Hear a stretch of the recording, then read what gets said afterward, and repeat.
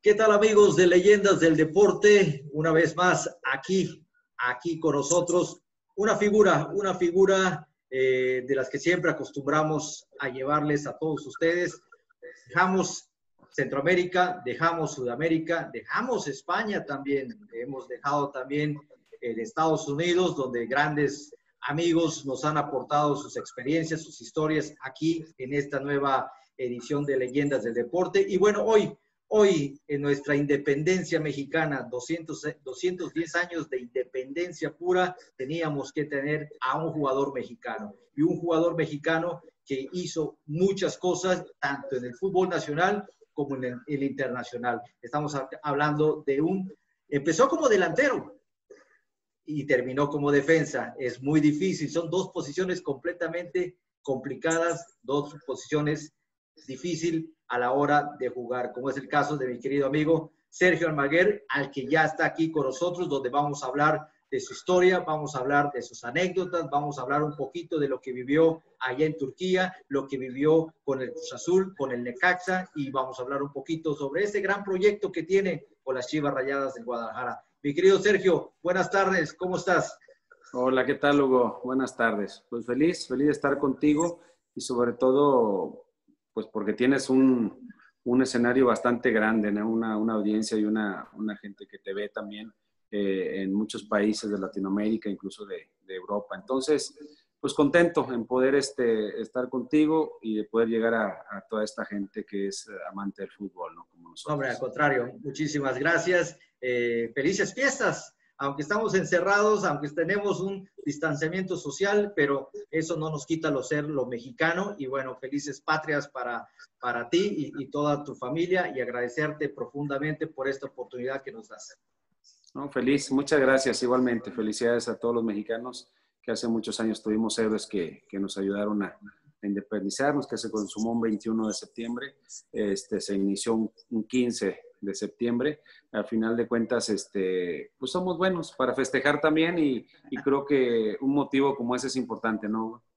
Así es, así es. Pero bueno, mi querido Sergio, aquí estamos para hablar del fútbol, de lo que tanto nos apasiona. Y dicen que recordar es volver a vivir, desempolvar un poquito todas esas grandes victorias, anécdotas y hasta cierto punto las derrotas que son las que nos enseñan a seguir caminando para lograr el triunfo. Y bueno, vamos a remontarnos allá en Puebla, donde iniciaste tu carrera en un equipo que desafortunadamente ya desapareció, como fue Los Ángeles. Tú eres oriundo de Monterrey, de Nuevo León, ahí en el país, eh, país en el estado norteño de Nuevo León. Y bueno, eh, cuéntanos cómo fue ese inicio, cómo te desarrollaste como futbolista y sobre todo como delantero.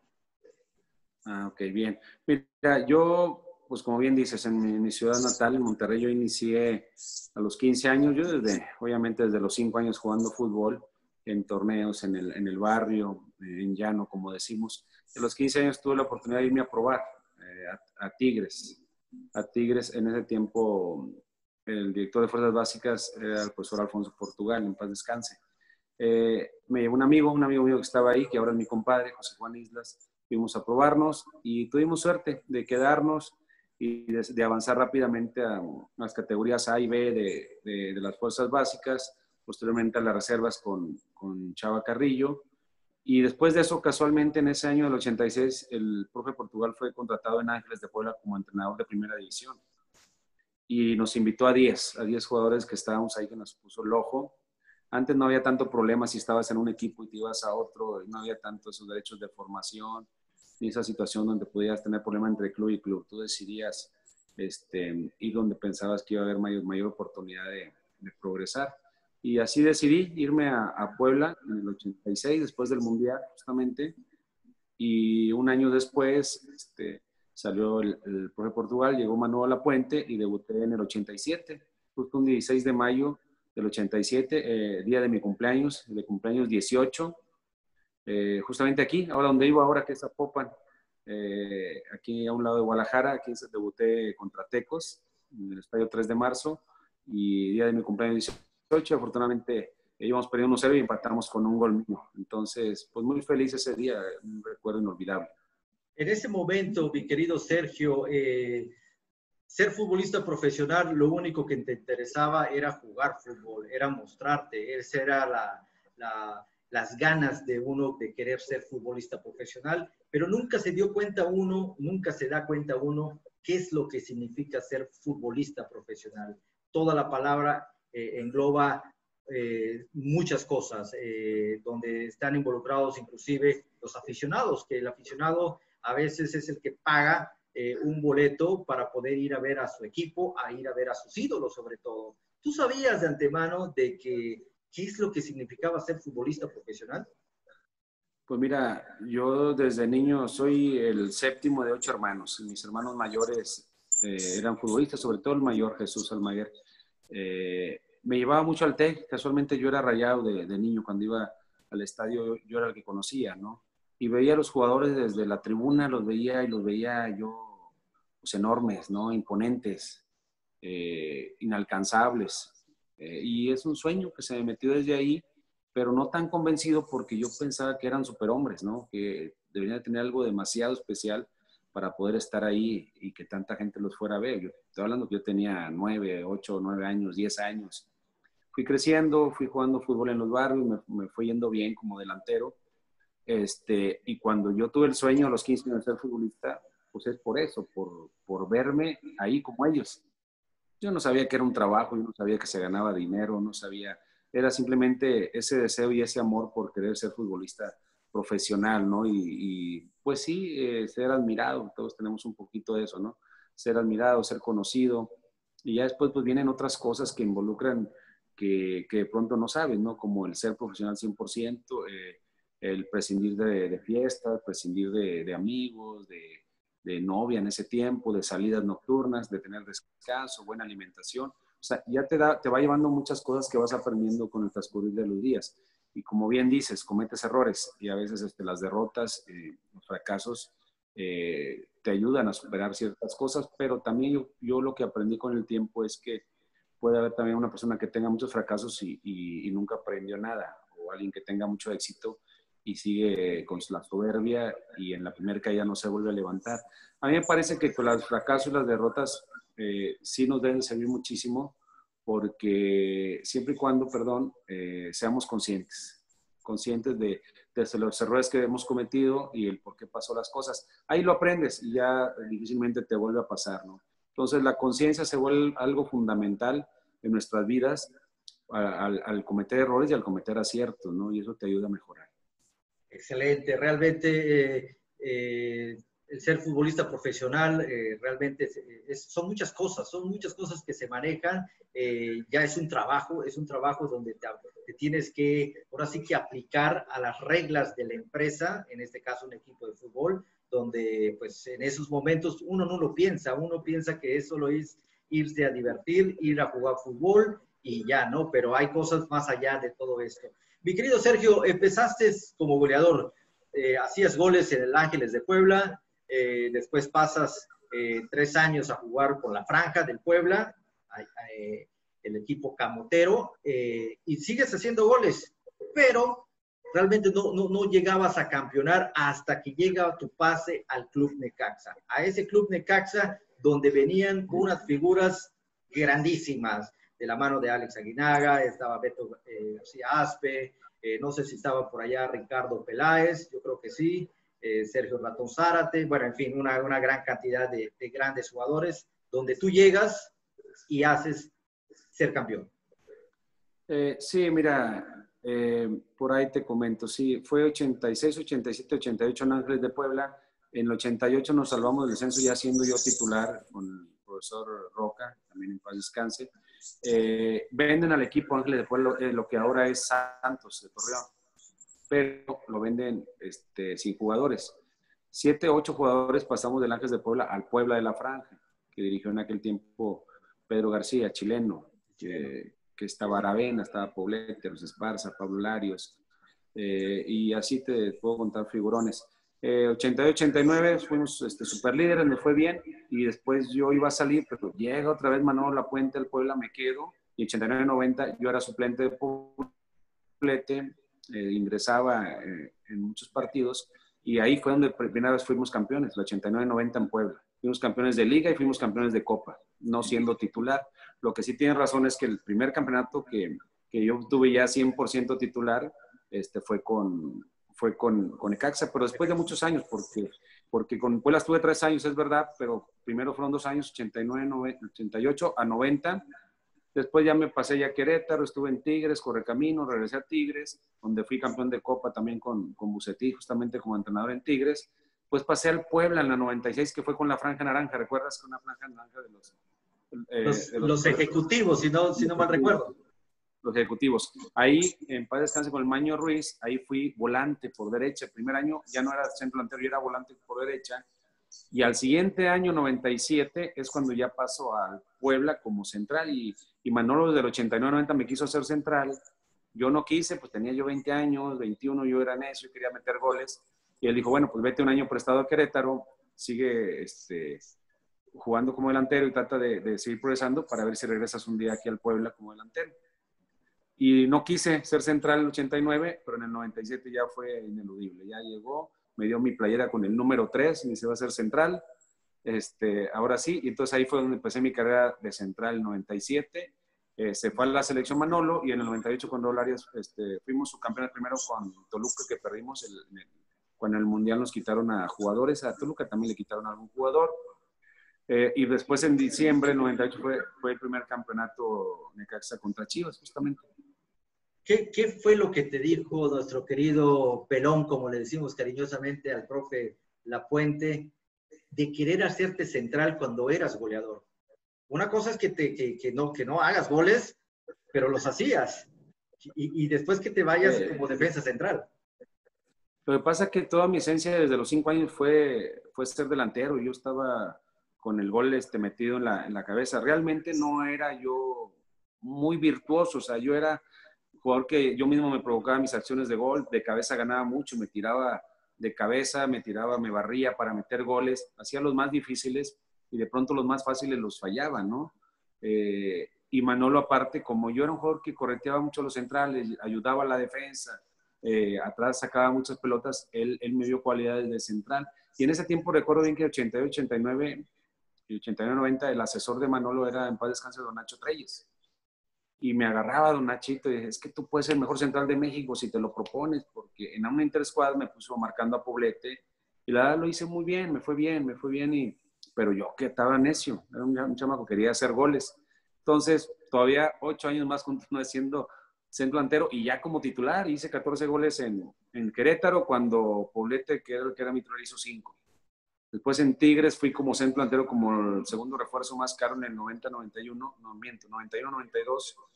Eh, y estuve tres años donde de 10 goles hacía 10 goles mínimo por temporada, que no son muchos, ¿no? Porque eran temporadas largas. Pero tenía, era titular indiscutible y tenía aporte, ¿no? Para, para ayudar a, tanto en defensa como en delantera. Eh, me fui un año camino, descendimos, regresé a Tigres y Bucetí fue el que me empezó a, a, ubicar un poquito en la contención, o sea, que ayudando al, marcando al contención rival. Y ahí fue donde empecé un poquito más a desarrollarme la marca, los tiempos, este, el no entregarme, todo eso. Después el siguiente año, repito, voy como volante por derecha con, con Aníbal Ruiz y al siguiente pues ya como central. Pero Manolo insistía, insistía, insistía y al 97 me dijo, te dije que iba a serte central. Y la verdad es que del 97 al 2002 fui seleccionado nacional como defensa central. Entonces, mucho que agradecerle a Manolo. Sí, y realmente de esto quiero hablar eh, sobre la selección nacional. Eh, en, ese, en ese entonces habían grandes, tanto delanteros como grandes defensas centrales. Estamos hablando de, aquel entonces estaba Claudio Suárez, eh, la delantera seguía Luis Hernández haciendo goles, pero tú no desentonabas, tú estabas igual allá.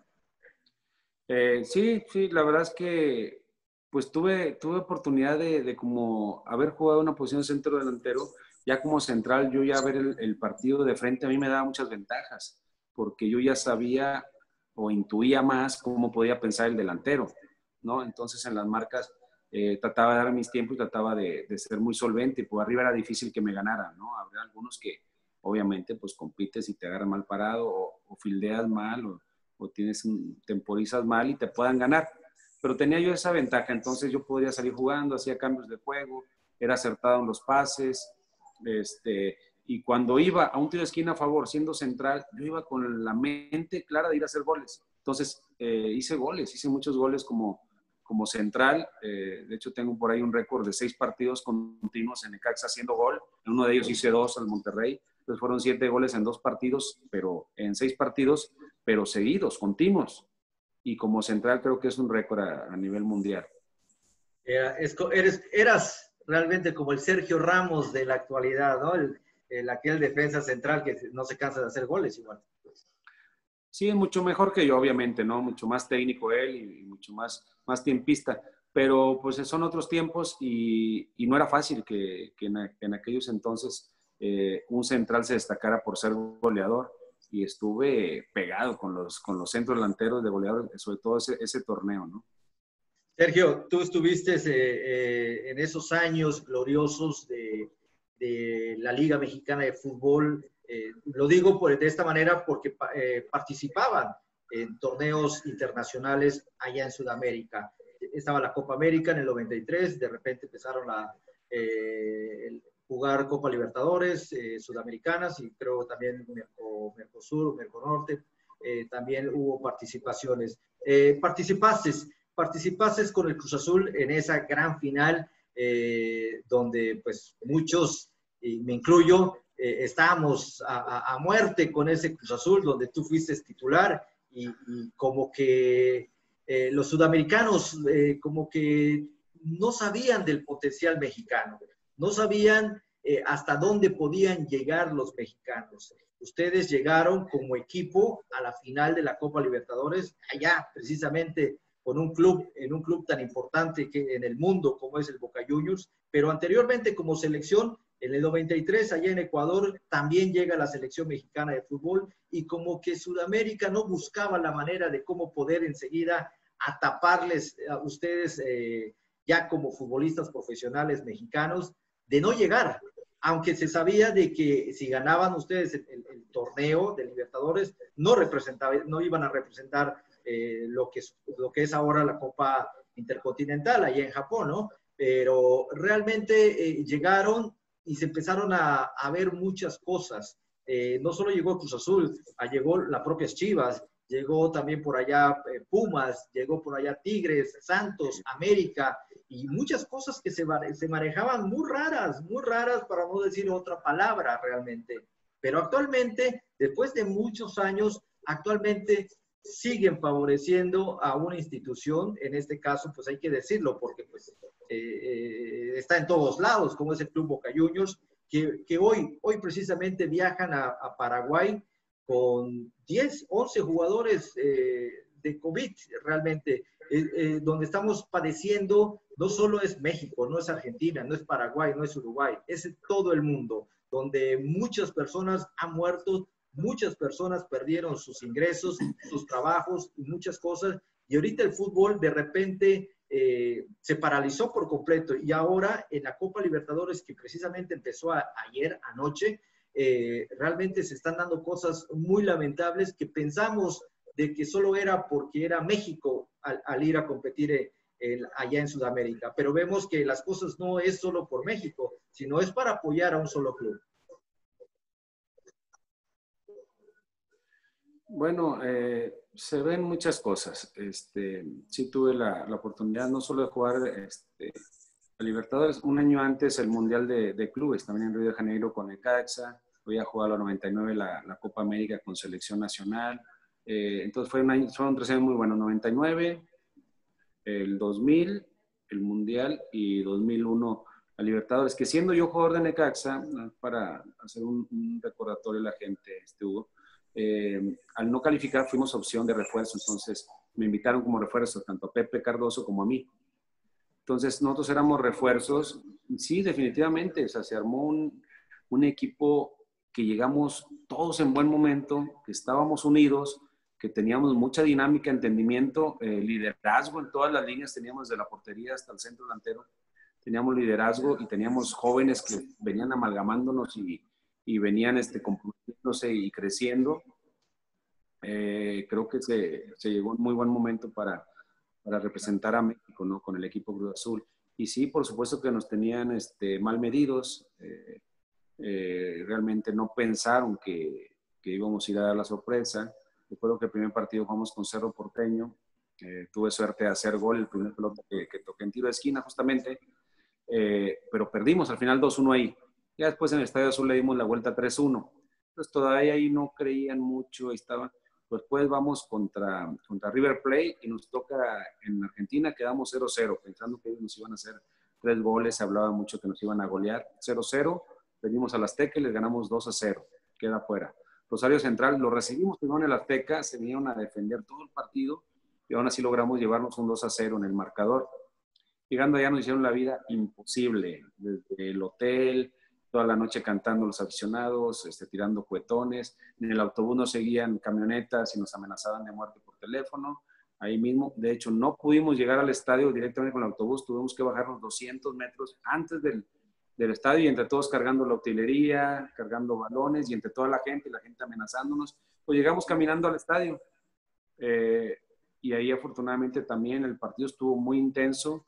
Eh, y al final hicimos, quedamos 3-3 ahí y con el 2-0 de, de Azteca, pues pasamos a la gran final contra el Boca y Boca eh, nos tomó más en serio, fue a hacer un gran partido el Azteca y nos gana 1-0, pero después se relaja y se confía en otros, teníamos todo por dar todavía y vamos y le damos la vuelta ya, bueno, la vuelta no, lo empatamos, ganamos 1-0 cuando había 8, 9 años que no, que no le ganaba un equipo en Libertadores al Boca Juniors. Pero también mucho por eso también hubo. Eh, eh, se veían marcaciones extrañas, eh, ya nos habían dicho que aunque fuéramos campeón no íbamos a representar el continente americano, como si no perteneciéramos a América, ¿no? Éramos invitados, es verdad, pero de entrada te dan un golpe bajo para que, pues, tratar de, de, bajarte la motivación o de alguna manera, lo cual no sucedió. pero sí, los arbitrajes todos fueron sudamericanos, fueron muy complicados, pero nos concentramos, como nos decía en ese momento el profesor José Luis Trejo, tenemos que ganar a pesar del arbitraje, tenemos que evitar expulsiones, tenemos que evitar discutir, tenemos que entrar a hacer gol de una manera muy limpia para que no nos marquen fuera de lugar, falta o algo, lo cual lo hicimos, ¿no? Lo hicimos y, logramos salir adelante, pero caray, eh, lo que me dices que está viajando con 11 jugadores que tienen COVID es una inconsciencia, yo no sabía Parece que, lo más valioso es, la vida, ¿no? Es el ser humano. Y me parece que nosotros como, como futbolistas o que eh, en este caso que yo estoy del lado del cuerpo técnico, eh, como profesionales dentro del fútbol, tenemos una, una, labor muy importante, ¿no? Somos, somos factor en la sociedad para, porque nosotros tenemos que trabajar y estamos arriesgando nuestras vidas, sí, porque la verdad es algo serio, o sea, no es un juego lo del COVID, ha cobrado muchas vidas en todo el mundo y nosotros eh, hoy nos hicieron la prueba, nos hacemos una prueba cada semana, eh, eh, tiene que ir directo a la federación, jugador, cuerpo técnico, cualquier persona con COVID, queda aislada 15 días, tratamos de cuidarnos, pero ¿por qué lo hacemos también? Porque se tiene que la gente entretener en algo y, y se reactivan algunos negocios, la economía tiene que, que girar y tiene que moverse, estamos al 30% en todos los giros, la mayoría es acá en México, en cuanto a movimiento, entonces el fútbol tiene que estar al 100%. El problema es que no tenemos gente en los estadios, eh, han bajado los sueldos y a, pesar de eso, tenemos que ser 100% profesionales y tratar de, pues, tú sabes cuánta gente en México eh, ve fútbol, por eso es que el fútbol lo, diversificaron ahora en los días, porque casi toda la semana hay fútbol. Entonces, si yo fuera aficionado y no me dedicara a esto, estaría feliz, por lo menos decir, bueno, todos los días por lo menos tengo fútbol que ver y es una manera de, disociarse del problema, tanto si tienes algún familiar enfermo o tú mismo estás enfermo, o si te ha ido mal en tu negocio o tu trabajo lo perdiste, o tienes alguna habitación, pues al menos tienes 90 minutos que, vas a poder este, distraer tu atención y hacer tu, tu, vida más llevadera, ¿no? En esos momentos. No te va a hacer que tu negocio triunfe el fútbol, pero sí, pues sí estamos en una situación porque normalmente en otros viernes la noche, sábado, y domingo es cuando trabajamos, cuando la demás gente descansa, ¿estás de acuerdo? Y, nosotros entretenemos a la gente para que se levante, se eche su barbacoita, su, su menudo, eh, pancita acá en el centro sur, su cervecita. O sea, para eso estamos los, los deportistas, para entretener a la, a la, gente cuando ellos descansan. Entonces tenemos que ser muy responsables, ¿no? ¿Y la cochinita pibil aquí en Mérida? También la cochinita pibil. Eh, sí, realmente es algo que avalado por la Comebol, avalado por el ministro de Salud de allá de Paraguay y, terrorífico lo que hace Boca Juniors, eh, sabiendo de que hay una lista de 50 jugadores y, lleva a los contagiados, que ahorita salen a decir que ya no están contagiados, que sí tienen COVID, pero no contagian, eh, no es un COVID contagioso, hazme el favor, realmente. Eh, es, es, lamentable y te lo digo porque tú jugaste esa Libertadores, fuiste subcampeón allá en la Copa Libertadores de eh, América, eh, sabes de lo que hablo, eh, sabes realmente a lo que te enfrentaste. No solo fue Boca Juniors, fue River Plate, fue Rosario, y, así sucesivamente, no solo a Cruz Azul, le ha, tocado a todos los equipos, el propio Chivas con el caso del Bofo Bautista, precisamente otra vez allá en, la bombonera, donde se dan cosas inexplicables, hacen cosas como que en cualquier parte del mundo están sancionados o quedas fuera completamente de la competición,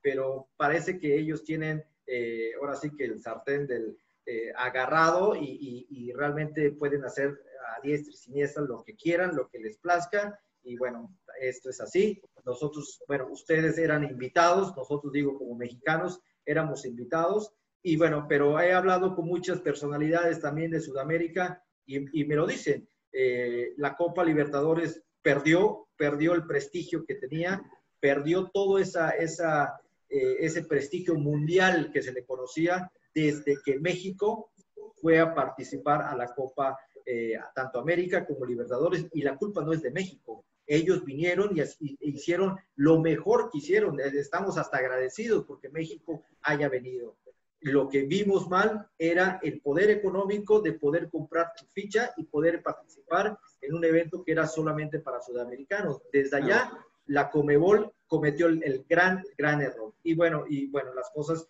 ya sabes lo que está pasando. Sí, así es. Sí, pues negocio. En ese tiempo fue negocio que fue gestado o tratado por, por mexicanos que estaban en, en, la cúpula en la Federación Mexicana de Fútbol, que a nosotros nos benefició, ¿no? En lo deportivo, porque te da una, una competencia este, pues de un nivel en ese momento este, más alto, nos permitió crecer, ¿no? Como personas, como futbolistas, como liga. Y pues bueno, como esto no fue culpa nuestra, fue culpa de ellos. Estuvimos este, a nada, pues que realmente competimos, siempre fuimos competitivos y, al final, pues bueno, es la zona que nos tocó vivir. Pues, al final, la Copa América pues, debería ser todo América, ¿no? Aunque se, se unieran dos, dos confederaciones, pero pero bueno, también hay muchos intereses, hay mucha política y, no es sencillo y a veces eh, o regularmente eso eh, lleva a, no poder desarrollar cosas más importantes, ¿no? Cosas más importantes eh, a nivel mundial en cuanto a la profesión se refiere, ¿no? En este caso el fútbol. Claro, Sergio, aquí en México la prensa mexicana no valora a nuestros futbolistas y sobre todo esos futbolistas que han dejado huellas sobre al, mexicano, hablo del mexicano, se le da más importancia al extranjero. Pero hablando de tu carrera, eh, Sergio, eh, fuiste campeón como director técnico en la selección mexicana, eh, la, en la sub-20, allá en la CONCACAF. participaste en la Champions League, participaste en el Mundial de Clubes, allá en Brasil, con el Necaxa, haciendo un agradable papel tercer lugar, realmente muy grande. Eh, hicieron ver mal al Manchester United. Eh, subcampeón de la Copa de la Copa Libertadores, participaste en Copas Américas, y como que a veces como que la prensa no, no les da el lugar que realmente ustedes se merecen. Pues pasa mucho, mira, la verdad que tienes que aprender a vivir con eso.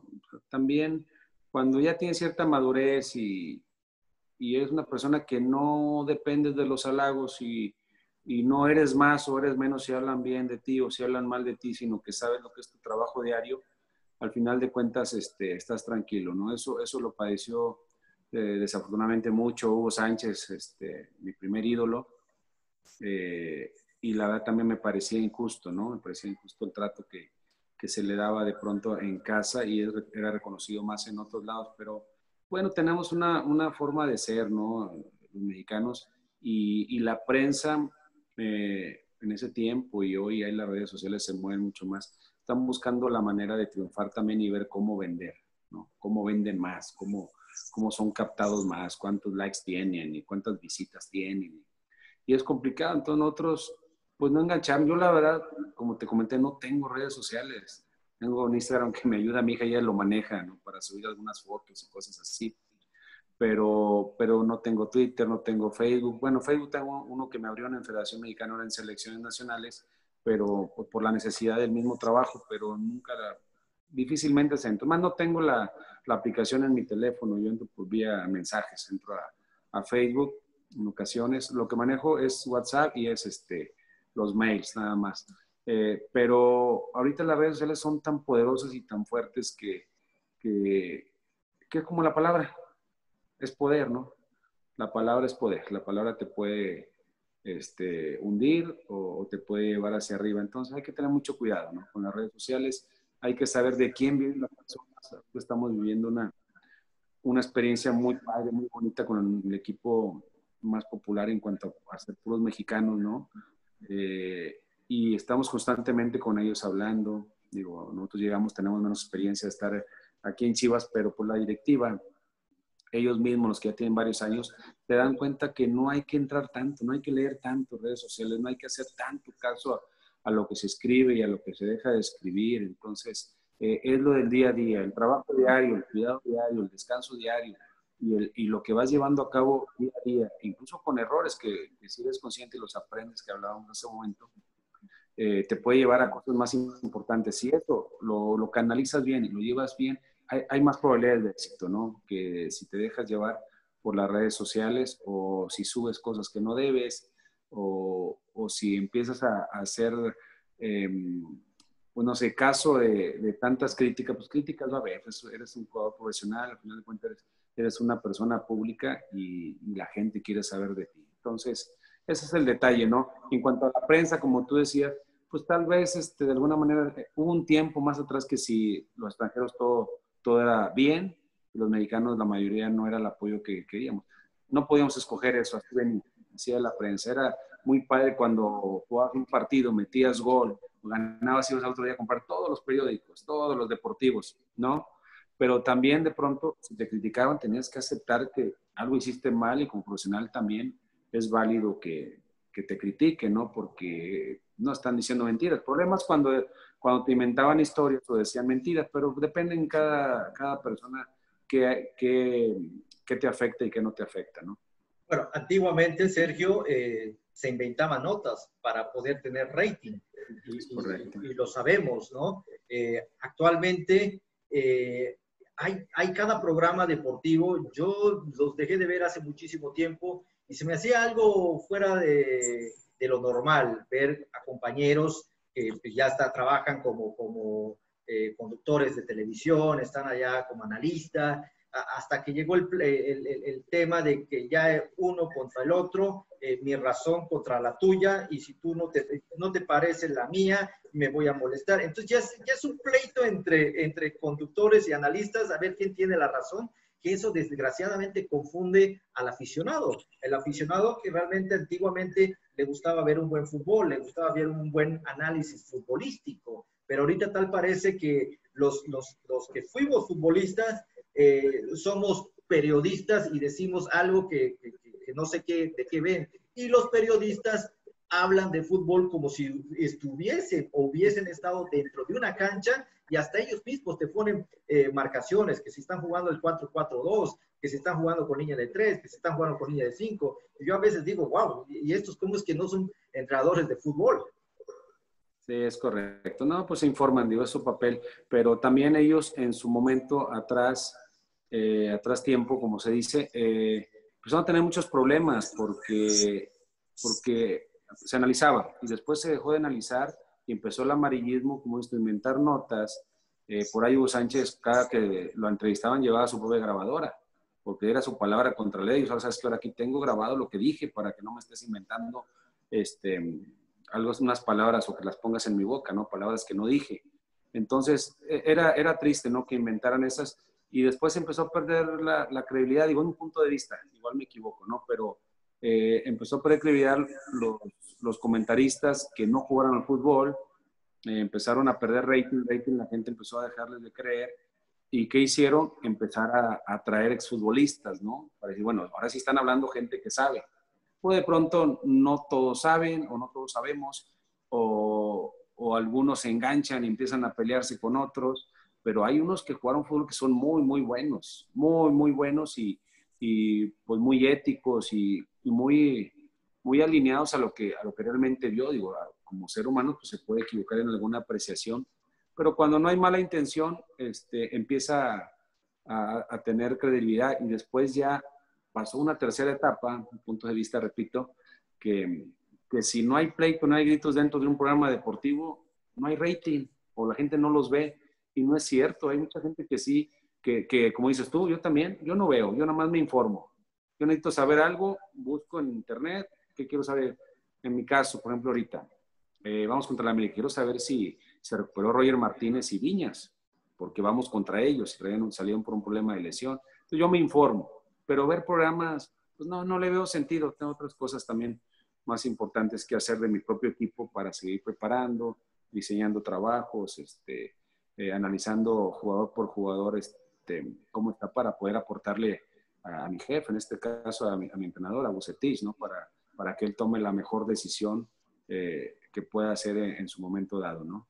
Claro, eh, hablando de, fuerzas básicas, hablando de, de, los jóvenes, tú fuiste entrenador de la selección mexicana sub-20, hiciste un gran papel, de hecho, eh, fuiste campeón ah, en el torneo de la CONCACAF. Pero ¿qué pasa después de eso, Sergio? De que salen jugadores, bueno, México ha sido, es potencia en la sub-17, ha ganado dos, dos campeonatos. Eh, la sub-20 también tiene buenos elementos, pero después, al momento de dar el salto a la primera división, como que se trunca el proyecto, como que paran por completo. Y ahorita tener, no sé, creo que son 15 jugadores eh, extranjeros que hay por equipo, 9 creo que juegan. El América juega con 9, son muy pocos los nacionales que están allá. El caso de Paul Aguilar, eh, Memo Ochoa, y tal vez este chico Córdoba, del resto, o, Henry Martín, que, está pasando por un buen momento, pero del resto todos son, son todos son extranjeros. Traen jugadores sub-18, sub-20 a jugar ya con el primer equipo. Y no lo digo solo por América, pasas mucho, mucho en los equipos de México, el caso de Tuca Ferretti. Tuca Ferretti no da, no da espacios a los, a los jóvenes. Para él, para él prefiere traer a un jugador ya hecho, ya formado para poder ganar. Pero el mexicano sigue estando eh, abajo, muy abajo. Tú fuiste director técnico, sabes a lo que me refiero eh, y, me imagino que también es complicado ser parte de una, de una selección donde te van a estar atacando todo el tiempo. Sí, es complicado. Sí, tuve la, la, fortuna de pasar seis años en selecciones nacionales donde estuve desde la sub-20, que nos tocó tres eliminatorias continuas, este, ganarlas, que no había ocurrido hace mucho tiempo, y ahorita tiene desde, el 2015 que no pasa también. Se ha calificado en tercer lugar, todo porque a veces se pierde el interés o deja de haber la inversión en cuanto a viajes, torneos para mejores mexicanos, o sobre todo en la sub-20, como me tocó a mí, hay jugadores que ya están pisando primera división, que son importantes y no te los prestan. Te los prestan hasta faltando tres semanas para el Mundial o eliminatoria. Te los prestan, ¿no? Eliminatoria no es obligación, a veces no te los prestan ni para la eliminatoria, solo para el Mundial. Entonces tienes que ir armando una selección con, con los jugadores que estén sobresaliendo y que no sean considerados en primera división. Sin embargo, pues tuvimos la fortuna de, de, varios jugadores este, mexicanos que, que, lograron desarrollarse y estar en Europa, eh, poder estar trabajando con ellos. ¿no? Jugadores, repito, que ya eran formados en sus equipos, porque es un error pensar que en las selecciones nacionales nosotros formamos a los jugadores, es mentira. Los jugadores ya vienen con calidad y con un escauteo y con un trabajo desde sus clubes. Los clubes, si nosotros potenciamos a los clubes con, con cursos o con mejores instructores, o con mejores este, entrenadores, va a haber mayor producción de, de, jugadores mexicanos, porque ahí está la, la, mata de los jugadores. En cada uno de los clubes está la mata de los jugadores. Si Tigre le invirtiera más dinero a, a fuerzas básicas en vez de, de, traer jugadores extranjeros, que también lo hacen, ¿no? Porque te lo permite el reglamento y el dinero lo tienen. O sea, no está mal que, que se fijen en jugadores importantes internacionales que, que puedan venir a aportar este, campeonatos y, y este, e historia a la institución. Eso no lo veo mal. Yo lo que veo mal es que no le inviertan a las fuerzas básicas de cada uno de los clubes, porque ahí, repito, es donde se, se gestan las, las, las, grandes leyendas, ¿no? Los jugadores importantes que puedan llegar a, a, primera división. Y, ir reduciendo el número de extranjeros sería bueno para que no estén tapando esos, este, esos huecos. Yo cuando jugaba decía, me van a traer un centro delantero extranjero, lo voy a dejar en la banca, van a perder su dinero. Y también está en el jugador mexicano que tiene que ser más sobresaliente, tiene que ser, tener más amor propio, tiene que decir, ah, me traes extranjero, yo voy a jugar. De una manera u otra, voy a jugar y voy a trabajar para que me den mi lugar. Y él que se quede en la banca, al otro año que se vaya. modo. O sea, tienes que pensar de esta manera, porque si tú ya dices, no, ya viene un extranjero, ya no voy a jugar, también como mexicano tienes un valor, tienes una capacidad, tienes una, una probabilidad de poder decir, estoy aquí, obsérvame, porque yo quiero jugar. Entonces, pero está bien, vamos a reducir un poco este, la llegada de extranjeros, potenciar las fuerzas básicas, este, seguir o no seguir con los minutos de menores es bueno o no es bueno, porque cuando tienes trabajo en fuerzas básicas, te da risa, como a Atlas, como a Chivas, como, eh, no sé, Pachuca, por ahí, el mismo América que ha sacado jóvenes, eh, de pronto los minutos los cumplen inmediatamente. Eh, ese no es el tema, pero sí el aminorar los extranjeros en cada uno de los clubes sería bueno para tener y potenciar jugadores. Ahora, hay que animarnos a, a sacar los más jóvenes a la cancha, a animarte a meterlos, porque eh, ¿Qué pasa? Yo te digo en selecciones, ¿por qué la, la, selección mexicana sub-17 tiene dos campeonatos y dos subcampeonatos? Repito, un punto de vista. Es una etapa de madurez que a los 16 años eh, competimos con holandeses, alemanes, brasileños, argentinos, en aspecto físico, de madurez eh, y de fuerza. Puedes competir, que están en crecimiento. Pero en México se le invirtió mucho la sub-17 en muchos viajes, muchos torneos, bien hecho, muy padre, y eso nos permitió llegar en igualdad de condiciones. Y hasta un poquito arriba con la experiencia de, de 80, 90 partidos internacionales, eh, ya con eliminatoria para el Mundial. Entonces, ahí hay muchas posibilidades de ser campeón. El tema está de los 17 a los 19 años. En México siguen siendo novatos, siguen siendo unos mocosos, siguen siendo unos chavitos, para los pensamientos de algunos entrenadores, claro. Bueno, estuvo el caso de, Diego Laines, que maravilló en sus primeros momentos, pero si ese muchacho fuera argentino, brasileño, uruguayo, chileno, ya lo hubiesen mandado a, Europa, vendido completamente. Y en su momento, y no digo, no estoy hablando mal de, Herrera, del Piojo Herrera, sino que en su momento él decía que no estaba apto para, para jugar en primera división, cuando el muchacho se le veía las condiciones realmente. Y bueno, yo no sé qué esté pasando actualmente con él ahí en el Betis, eh, pero desgraciadamente eso pasa. Y esa es mi pregunta también para ti, mi querido Sergio. ¿Qué pasa cuando el jugador cruza el charco y se instala en un equipo de primera división eh, europeo? Estuviste en Turquía, estuviste en Turquía, jugaste Champions League, eh, hiciste grandes cosas también allá, pero de repente te vuelven a traer a México. ¿Por qué no desarrollar el potencial que tienen estando allá?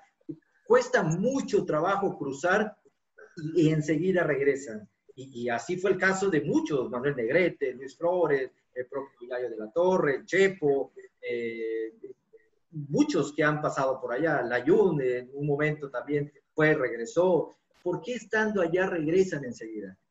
Ok, eh, voy a, no rehuyo a tu pregunta y sí la, la, voy a contestar, pero va de la mano. Te comentaba el por qué yo veía que en la 17 este, tiene mucha posibilidad de ser campeón porque están igual de condiciones. Voy ahí va a contestar la, pregunta tuya, porque de 17 a 19 años, en Argentina, Uruguay, eh, Brasil, Paraguay, o sea, lo sueltan. Ya de 17 a 19 son jugadores que los meten a jugar a primera división. Entonces, son jugadores que, que ya se desarrollaron en Europa, digo porque yo estuve allá y me tocó ver, ellos tienen una, una, una Champions League eh, sub-20, o sea, sub-21. Juvenil, claro. ¿Me entiendes? Tienen, tienen un, una Champions League sub-21. Entonces, de 19 años son jugadores que tienen una competencia altísima y un roce internacional. Y esos que a lo mejor no les fue bien en el Mundial sub-17, esos españoles, esos este, holandeses, esos alemanes, pero a los 19 años ya están volando, ya están bien maduros y todo.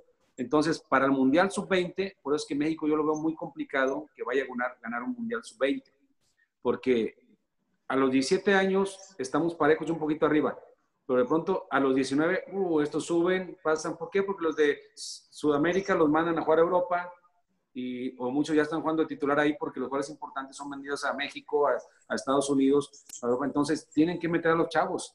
y ahí crecen, maduran, llegan al Mundial Sub-20 y es campeón Brasil, es campeón Argentina, es campeón Uruguay, es campeón España, es campeón este, Italia, es campeón este, Alemania. ¿Por qué? Porque ya tienen otro crecimiento y los de México se fueron quedando ahí abajito. Y estos jugadores de 19, 20 se pierden mucho por lo mismo, porque no, porque le están tapando el lugar acá en México y no explotan el potencial. Habrá algunos como, como el Tecatito, como, pues como varios jugadores que, que han ido a, Europa siendo de 20 años, eh, el Chucky y varios así, que les ha ido bien, son jugadores diferentes, jugadores que, que lograron desarrollarse y, tener un potencial, pero no les fue bien en los mundiales, digo porque los dije yo, al Tecatito en, en Turquía en 2015, en 2013 y 2015 en Nueva Zelanda al Chucky, a Eric Gutiérrez. O sea, no explotaron su, su potencial en el sub-20, si no hubiéramos sido campeones. Ellos todavía tardaron un año más cuando otros jugadores este, europeos ya habían, ya habían explotado su máximo potencial, ¿no? Tú, tú ves este, a jugadores franceses que, que, tienen 19 años y son jugadores ya formados, ya con, con cierta madurez, con, con, experiencia para desarrollar. Entonces pasa mucho a eso. Eh, a mí me parece que algunos se van este, antes de tiempo y no logran, no logran explotar su potencial. Y cuando nos vamos ya más maduros, en mi caso yo fui de 33 años, yo ya estaba a dos años, tres años del retiro. Yo fui porque quería jugar Champions League. Era mi sueño, desde que vi a Hugo Sánchez jugar la Champions, yo quise jugar Champions League. Y, no, y tuve una oportunidad cuando tenía 18 años, que una visoría del Real Madrid que pude ir, pero yo todavía no debutaba en primera división y tenía otras cosas que hacer por acá en México y no se logró hacer. Tigres no lo permitió en ese tiempo, yo pertenecía a Tigres, a Tigres, perdón. O sea, eh, te, buscó el Real Madrid a tus 18. Sí, a los 17 más o menos, 17 años. 17 años, en un torneo que tuvimos este, a nivel nacional, se hicieron unas visorías, este, había muchos visores este, internacionales y, y ahí hubo una, una posibilidad, pero eh, también porque, bueno, estaba el profe de Portugal para descansar acá y su, y su yerno en ese tiempo era Hugo Sánchez. Entonces, como que mandaron específicamente a, visorear a México, ¿no? Este, jugadores de, todos los clubes. Eh, pero realmente es una incógnita lo que pasa, o sea, porque a veces vamos y no, no, o sea, tenemos las alas grandes porque sí nos gusta volar también, o sea, yo no tuve problema en irme solo a, Turquía y estar allá 10 meses, no tuve problema. Eh, igual como Chepo no, no haber tenido problema, mismo Luis Flores, Luis García y los que te, te diga. Eh, no triunfamos porque el fútbol tiene esas cosas, de pronto no, o no te adaptaste, eh, o no fuiste lo suficientemente eh, fuerte mentalmente, o lo que pasaba en ese tiempo, que de pronto ganabas más en México que, lo que te dan en Europa. No pasa en Sudamérica, ni en Uruguay, ni en Argentina, ni en Paraguay. Creo que, creo, que ese, creo que ese es el mayor problema, ¿no, Sergio? De que México se paga muy bien, demasiado bien que realmente que hasta los propios eh, sudamericanos, cuando ya se están a la baja, lo primero que piensan no es regresar a sus clubes de origen, sino voltean a ver ahora ya a la MLS, pero antiguamente volteaban a ver a México. Sí, definitivamente, pero también si tú le preguntas a Rafa Márquez o le preguntas a Hugo Sánchez, siendo jugadores este, top en Europa, vas a ganar 10 veces más de lo que ganas en México.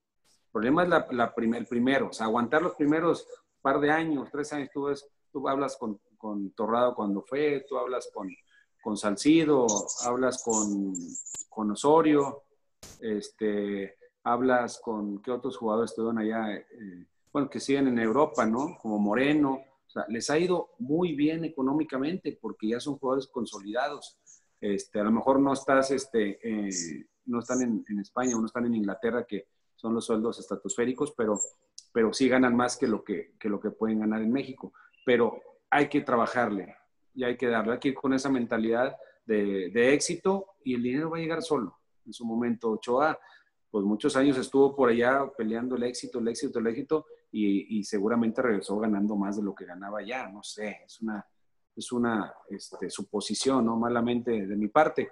Este, pero al final de cuentas, este, el triunfar, buscarte un objetivo, tío, en mi caso fue jugar la Champions League, porque yo me fui a, Galatasaray ganando el 40% de lo que ganaba en Cruz Azul ese año, ¿me entiendes? Pero era mi sueño jugar este, la Champions. Entonces tienes que tener sacrificios este, eh, físicos, dejar a la familia, eh, económicos a veces, pero ya cuando eres un jugador, importante que para mí pues, ha sido, pues, por ejemplo, lo que hizo Rafa Márquez es, es pues, hasta ahorita insuperable, ¿no? Hugo Sánchez anteriormente y Rafa Márquez, y pues seguramente les, les fue bastante bien económicamente. Entonces, eso es lo que habría que buscar todos como mexicanos. Claro. Te faltó el Mundial, Sergio. Me faltó el Mundial de club. Estuve muy cerquita en dos ocasiones, en 98 y 2002. El 98 yo creo que era mi chance porque era mi mejor momento. Eh, el técnico era Manuel Lapuente, el entrenador que, que me hizo central, que me debutó, eh, que confió mucho en mí. Eh, pero también el previo, los partidos previos, justamente contra Boca Juniors, fíjate, contra Boca y, y contra la U de Chile, yo todos esos partidos no me fue muy bien, no me fue muy bien esos dos partidos. tuve un, este, una, una, ruptura fibrilar este, eh, no llegó a desgarre, pero sí tuve una ruptura fibrilar. Ya no me permitió jugar la, la, Confederaciones también después de un desgarre, después del 99. Por ejemplo, eso fue el 98, el 99 fue, fue también en la Confederaciones para después, para el 2002. Este, pero al final de cuentas, este, pues sí, me faltó, lo único que me faltó en lo deportivo fue el Mundial de Selecciones. De ahí para allá por la Champions League, la Libertadores, la, la Merconorte, eh, Mundial de, Clubes. mundial de Clubes. Eh, Copa América. Copa América.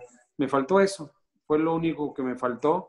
Este, pero no pierdo la esperanza de, de algún día ir este, como cuerpo técnico, estar por allá. Y yo creo que lo vas a lograr. Actualmente, mi querido Sergio, eh, perteneces a una de las grandes eh, instituciones de aquí de México, eh, al club más popular, el, el más querido, realmente muchos seguidores, eh, como es el caso de las Chivas Rayadas de Guadalajara, donde estás junto con el propio Bucetich, eh, están allá armando un buen plantel, están queriendo hacer las cosas de la mejor manera posible. Eh, desafortunadamente llegó el COVID y no se, pudo, no se pudo trabajar como, como hubiesen ustedes querido desde un principio, ¿no? Pero hay una cosa que sí me gustaría eh, poder preguntarte, porque ya eres parte de un cuerpo técnico, eres director técnico, eh, y es una pregunta que realmente me llamó mucho la atención cuando yo la vi por primera vez. Eh, el caso fue de la campeona del mundo española. Ella ganó la presea dorada, la primera presea dorada para España en Atlanta 96, en los Juegos Olímpicos de Atlanta 96 donde ella me decía, a nosotros, los atletas de alto rendimiento, hablo de, España, eh, nos preparaban, nos preparaban para ser las mejores, para poder obtener el resultado que era la medalla de oro para, para España. Pero nunca nos prepararon para después de. Me llamó mucho la atención eso y te lo digo ahora como, como director técnico. Actual, eh, estamos viviendo épocas donde los jugadores eh, se la pasan en sus redes sociales, subiendo sus mejores goles, sus mejores vestimentas, sus mejores carros, y no hay todavía como una parte psicológica deportiva con el jugador. Ahorita seguimos viendo que los jugadores llegan, llegan, ganan demasiado dinero a donde vayan. Monterrey, Tigres, América, Chivas, Pachuca, León, a donde vayan, ya hay grandes bolsas. Y estamos hablando de muchachos que no, no pasan ni los 24 ni 25 años, donde todavía como están, son inmaduros, a pesar de que son futbolistas profesionales, pero siguen siendo personas a final de cuentas. Muchos son inmaduros, muchos son inmaduros, muchos cometen errores realmente. Eh, ¿Hay algún tipo de ayuda que se les pueda dar como institución a esos muchachos que ustedes ahora como directores técnicos los ven como, los, como la, eh, la, la, cosa dorada, como, como ese, ese material que queremos y queremos pulirlo todos los días para hacerlo mejor. Pero después va a llegar, lo, lo sabes tú que fuiste futbolista, el fútbol es tan, tan cortito, tan cortito, que eh, cuando te das cuenta es hora de retiro y no maduraste como persona. Sí, no, definitivamente. Eh, es cuestión de, de conciencia, de, de, de, raíces a veces de, valores y de, de estabilidad familiar también tiene mucho que ver, eh, pero cuando no se tiene, cuando hay algo de disfuncionalidad eh, familiarmente, ¿no? En tus raíces, porque eh, pues unos venimos de, de meditaciones de, de, más humildad, otros de, de, buena estabilidad, unos de, padres divorciados, otros separados, otros, etcétera, ¿no? y no solo en el fútbol, ¿no? En, cualquier disciplina. Cualquier disciplina y, y en cualquier trabajo. Eh, no naces sabiéndolo todo, la, vida te lo va llevando y la experiencia te va llevando. Yo vuelvo a lo mismo, es la conciencia. La conciencia y, hay, una, hay una frase que se dice que yo no estoy de acuerdo, ¿no? Que se dice que nadie experimenta en cabeza ajena. Yo no estoy de acuerdo, hay que experimentar en cabeza ajena. Si tú ves que alguien, se, si hay un puente para cruzar la calle y se, se pasa por abajo y lo atropellan, eh, pues no te vas a pasar por abajo. O sea, ya le pasó a él, pero ¿por qué me tiene que pasar a mí? Yo agarro el puente me cruzo y llego, llego este, sano y salvo del otro lado. Y eso pues, es una analogía eh, en cuestión de que si ven un, deportista triunfador que ha ganado mucho dinero, que ha ganado muchos títulos y después está en el fracaso este, económico, familiar, eh, por drogas, por apuestas, por mujeres, por lo que le quieras llamar. Si tú lo ves, bueno, ¿por qué no lo aprendes?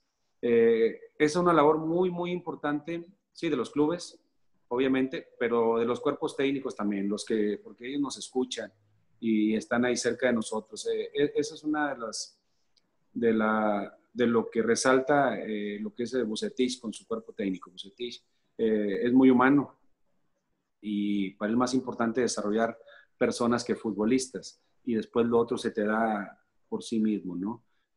se habla mucho con ellos de experiencias propias eh, de qué pueden hacer, de cómo están, porque al final de cuentas es un equipo, eh, es un grupo, perdón, que tienes que hacer un equipo y tienes que empatarlos en la misma idea, en la misma visión, el mismo objetivo de buscar ser campeones. ¿sí? Y tenemos que buscar que todos estén en su mejor estado físico, eh, y psicológico, ¿no? Y táctico, obviamente, pero el psicológico es la parte humana de cada uno de ellos que tiene que permitirles desarrollarse mejor las demás cualidades, porque eso te bloquea mucho, ¿no? tienes problemas acá, eh, hay, otras, hay otros aspectos que, que, aunque los tengas ya, ya este, desarrollados, como la técnica, como el fútbol, eh, si no tienen las ganas, ni el deseo, ni la inspiración, acá te, te manda y no lo, no lo vas a hacer. Entonces, es nuestro papel orientarlos, es nuestro papel decirle, este, Oribe, habla con este jugador joven. ¿Cómo le hiciste tú para, para lograr tus éxitos? Pero ¿cómo le hiciste para, para invertir todo el dinero que ganaste? ¿Tienes tu vida resuelta o no? Pues sí. Entonces, ¿tú cómo, cómo lo puedes ayudar a él. Eh, Jesús Molina también, Irán Mier, tienen muchas inversiones, tienen, han ganado dinero, lo han sabido invertir, tienen una familia estable. Hablen con los jóvenes, los que van llegando, los que están desestabilizados, porque ese es el legado que ustedes van a dejar en sus compañeros más jóvenes. Y nosotros como cuerpo técnico, pues tratar de, estar cerca de ellos y ver la manera de cómo ayudarlos. Al ayudarlos a ellos, pues nos ayudamos nosotros, obviamente. Entonces, eh, un tiempo, no sé si recuerdas atrás, en paz descanse don Jorge Vergara, eh, yo recuerdo, sin estar yo aquí en Chivas, yo recuerdo que, que una parte de su sueldo decía, mira, esto te lo voy a juntar y te vamos a comprar una propiedad. Esto va a ser para ti un seguro. Y les empezaba a enseñar cómo invertir su dinero. Les empezaba a enseñar cómo eh, duplicarlo, lo que tenían, o cómo cuidarlo, cómo potenciarlo. Eh, ahora no sé, no sé si se sigue haciendo, si no se sigue haciendo, pero yo creo que una, no, era, no debería ser obligatorio, obviamente, pero sí este, una asesoría, ¿no? Incluso, pues algún curso de psicología, de coaching, eh, de administración, eh, algún seguro que les puedan este, dar algún plan para, para, el retiro, porque yo sí pensé, yo cuando tenía 33 años, eh, regresé de Europa y dije, caray, me quedan tres años de fútbol y voy a tener 36 años y retirados a 36 años, viejo ya para el fútbol, me quedan una vida por delante, otros 36, otros 40, lo que Dios quiera, ¿no? Pero ¿qué voy a hacer? Yo por eso desde el 2001 yo me titulé como entrenador y todavía me retiré hasta el 2006. Yo, yo me preparé de antes porque yo desde el principio sabía que lo mío era el fútbol y que quería seguir en las canchas, ¿no? Pero, pero aún así no te garantiza que vas, te va bien, que vas a tener trabajo. ¿Qué vas a hacer? O sea, ¿qué vas a hacer con lo que has ganado? ¿Qué vas a hacer con tu vida? ¿Cómo vas a orientar a tus hijos? Eh, ¿Cómo vas a invertir tu dinero? Eh, ¿Qué negocio crees tú que te puede ah, llevar a, tener una vida estable? Porque pues, igual ganar lo que ganas en fútbol cuando estás en un top es, complicado, ¿no? Es complicado. No es que seas un gran empresario, ¿no? Y tienes unos negocios ya de familias de 80 años para atrás, ¿no? Pero entonces, sí, yo creo que esa parte está faltando. Es más, o sea, ya, ya es es más este, orientado el jugador, eh, tiene, es más educado, es más preparado, pero no todos, no todos. Siempre va a haber este, casos que no. Entonces sí es nuestra labor, hay que, hay que tratar de, dejar algo, dejar alguna huella positiva en los, jóvenes sobre todo. Y, ojalá que todos los equipos, por ejemplo, de, de México para abajo, eh, tengan esa misma visión, tengan esa misma formas de poder ayudar a, sus jugadores, realmente a su materia prima, que son ellos, ¿no? De poderles poner eh, eh, gente que los ayude. En Estados Unidos, en mi, época en la MLS, yo recuerdo que cuando llegaban grandes jugadores, en el caso de Pibe Valderrama, se, se, llegaban agentes, agentes de tal agencia para informarles sobre cómo poder invertir, cómo poder hacer grandes cosas. Y lo mismo pasaba eh, y pasa todavía en la NBA, en la, en la de béisbol también. Eh, y quiero suponer que ahorita sigue todavía en la, en la MLS, donde ya cada vez van más y más y más jugadores. Y ojalá que algún día podamos ver esto aquí en México, porque desafortunadamente eh, se pierde, se pierde mucho porque estamos concentrados todo el tiempo al jugador, al jugador, al jugador, y hay que sacarle lo mejor, lo mejor, lo mejor, y hay que aprender a que juegue de esta manera, aprender a que juegue de la otra, aprender de esto. Pero cuando nos dimos cuenta, ya tienes 33, 34 años, tu dinero te, sale de las bolsas y, de repente te volteas a ver, ya no hay entrenamientos, ya no hay fútbol, ya no hay nada. Eh, ya te aburrió porque llega a cansar jugar fútbol, se te quita esa pasión por, por, ir a entrenar y es cuando dices, hasta acá. Después llega la nueva, la nueva historia otra vez. Después de que dejaste eh, una trayectoria como futbolista, tienes que tener muchos pantalones para decir, me voy ahora como director técnico. Porque así como puedes triunfar como director técnico, eh, como, en tu, como, como en tu caso, que fuiste jugador, triunfaste, y, después te hiciste director técnico y triunfaste, son casos muy contados lo que pasa. A, veces hay, hay jugadores que la rompieron, de repente su prestigio la llevan como director técnico y no pasa nada con ellos. Sí, sí pasa. Yo, bueno, la verdad no me quejo, me ha ido bien porque del 2008 yo pasé por una dirección de fuerzas básicas de 2006 a 2007 y después me fui a, dirección deportiva en Jaguares, 2008 ya fui entrenador, me fue bien como entrenador, después no era un, proyecto estable y me fui a otro proyecto a, a, Irapuato, donde fuimos campeones, subcampeones, y ya no, no, no logramos ascender, me pasé a selecciones, fueron seis años donde fueron varios campeonatos, me fue muy bien. Y, este, y me está faltando, ¿no? Me está faltando consolidarme como entrenador, pero ahorita estoy muy feliz este, apoyando a, eh, eh, a las ideas de, de, profe Bucetí con Carlos Barra, el mismo Ricardo Cadena que está como institucional aquí en Chivas, Milton Granolati en la preparación física, está Rezano con los porteros y, dos españoles, ayer y, Ori, que nos están apoyando también en, en los trabajos, como el profesor Armando, que le decimos Picos cariñosamente también. Entonces, tenemos un equipo amplio de trabajo, tenemos las herramientas y, y estoy contento. O sea, yo, yo, yo espero y vamos a trabajar con todo para, para que triunfe el profe Bucetich y, este, y podamos estar contentos por la labor, ¿no? Ya después será otra historia, ya veremos más adelante qué pasa.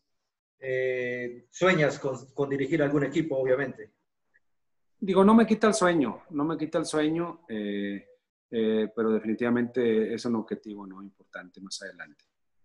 Mi querido Sergio, ya por último, se viene el clásico, el clásico de, de clásicos aquí en México y me imagino que ustedes están listos para derrotar a las, a las Águilas del América. Solo un marcador que nos digas. Sí, no, estamos trabajando a conciencia, como imagino ellos también lo están haciendo, ¿no? Por supuesto. Eh, cada vez está amalgamando más este, por, por, toda esa experiencia que tiene el profesor Víctor Manuel Bucetich. Eh, el equipo está más homogéneo, estamos se está creando una, una competencia entre jugadores de puesto por puesto. Hoy fue una interescuadras impresionante, como no he visto con tanto esfuerzo, eh, de jugar 45 minutos, tres bloques de 15 minutos con correcciones y lo que tú me digas, se, estuvo corriendo casi 7 kilómetros por jugador, lo cual es, es, muy, muy elevado ¿no? para ese tiempo. Sin embargo, habla de, de, que el equipo está queriendo competir para, para lograr y eso lo lleva a, que el es, es, muy justo. O sea, es justo, trata de, impartir justicia y el jugador lo ve y el jugador lo, lo, se da cuenta, entonces ahí le dan ganas de pelear por un puesto, porque sabe que su esfuerzo no va a ser en vano, que si lo va a merecer en su momento, seguramente va a tener la oportunidad ¿no? de hacerse con, con ese lugar. Entonces, estamos muy contentos, estamos muy contentos preparándonos, nos queda el cierre, lo que es el jueves y el viernes para viajar. Eh, esperamos los últimos detalles, poder ahí que el profe los plasme bien ahí en la cancha y, nosotros lo que podamos ver como sus ayudantes principales, este, poder externárselo y que él se lo lleve, ¿no? Discernir un poco y que él se lo lleve para que con ahí la almohada pueda tomar las decisiones adecuadas. Eh, y por supuesto que vamos a ganar, ¿no? Si es un 2 a 0 sería sensacional, pero sabemos que América es un equipo que ataca y que hace goles, este, pero también recibe, ¿no? Tratamos o hemos tratado de ser más equilibrados sin recibir tantos goles, pero también nuestra cosecha ha ido poco a poco aumentando en cuanto a goles. Entonces, esperamos ganar, sea por la mínima diferencia, pero ganar, Hugo. Así es. Bueno, pues realmente la Liga Mexicana de Fútbol necesita a esos grandes equipos. Necesita al Cruz Azul, necesita a las Chivas, necesita a la América, necesita a los Pumas, a Tigres, a esas grandes, grandes potencias realmente que últimamente eh, realmente han estado muy abajo, muy abajo, pero parece ser que ya tanto Cruz Azul como Chivas, el propio América, propio Pumas, ahí están levantando y eso es benéfico, benéfico para nosotros los aficionados al fútbol. Mi querido Sergio, te quiero agradecer por esta gran oportunidad que nos das aquí en Leyendas del, Deporte, de poder conocer un poquito de tu historia, de tu gran trayectoria futbolera y nos sentimos muy, muy agradecidos por tu presencia. Eres un tipo muy agradable, muy educado y ojalá que muchos, muchos aprendan de tu sencillez y humildad. te agradezco tus palabras de corazón también. Eh, pues mucho éxito, que te siga yendo muy bien y mejor más adelante. ¿no? Estamos a la orden más adelante en otra oportunidad, que se abra alguna posibilidad de, de algún tema que te interese, que sea Libertadores o algo que, que, podamos aportar algo. Si se dan los tiempos y todo, con mucho gusto estaremos. No, agradecidos, muchísimas gracias. Bueno amigos, pues esto es Leyendas del Deporte. Mi nombre es Hugo Rosas, transmitiendo desde la ciudad de Mérida, aquí en Yucatán, México, para toda Latinoamérica. Les quiero decir muy buenas noches, cuídense y nos vemos en la próxima. Hasta luego.